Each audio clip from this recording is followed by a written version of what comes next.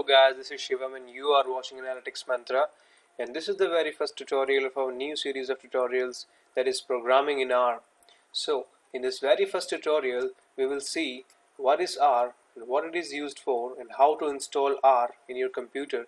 So we will be firstly seeing how to install the R Studio in your Windows machine and then we will run the very first R program. So let's start. To install R in your system first of all you need to go to the browser and you need to go to RStudio so now you need to open on the download RStudio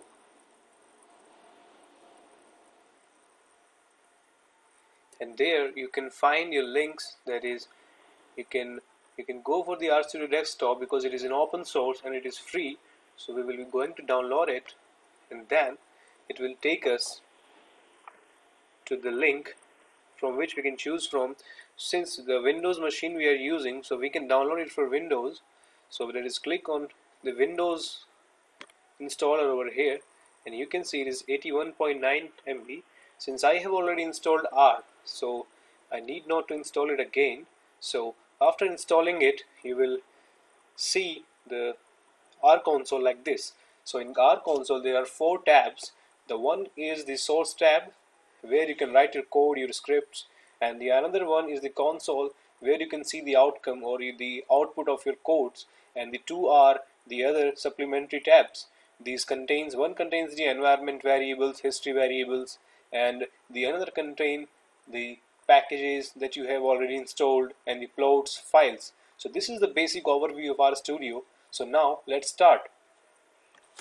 First of all we will use R and we will see how we can use it. So in the basic in introduction we can say that that R can be used for statistical analysis. It is basically was developed for doing statistical tasks. So we can perform any kind of mathematical operations using R. So let us define some variables that x is equal to 2 and y is equal to 5 now to print any number we need to type the print command and then we will give the argument that is x plus y. Now we need to save it. To save you can click on the control S and then it will automatically save and then you need to run. And then you will see that you need to first of all select all the variables and then click on run. And then here you can see that we it the in, in the console you can see that uh, x plus y it is printed the sum. So now you can also slide them down to the bottom. And now we will perform some another operations like uh, we will print a string a string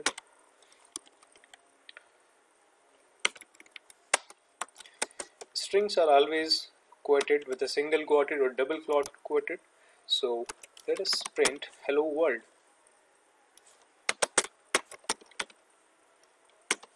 Hello world. Now we have defined a string and now we would like to print the string. My string. That is here you can see. Now when you run this selection of code and you will see that it is printed in the console that hello world. So so R can be used for mathematical tasks. You can operate any kind of things on R. So basically R was designed for the statistical analysis. And in the coming lectures we will understand what are the basic data structures that we can use in R. And we will also perform some data analysis tasks. And we will also perform some data visualization tasks using R.